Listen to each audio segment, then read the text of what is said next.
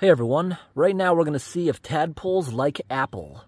Let's see if these green apple slices can take their attention away from that yummy cucumber.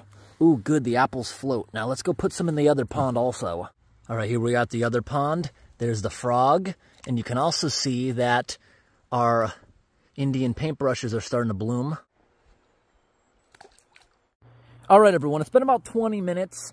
They are eating the apple, a couple of them, but it's not anything like the cucumber or watermelon, their all-time favorite. They're not going to get watermelon again for at least a couple weeks because that's not a great thing for them, just a treat every now and then.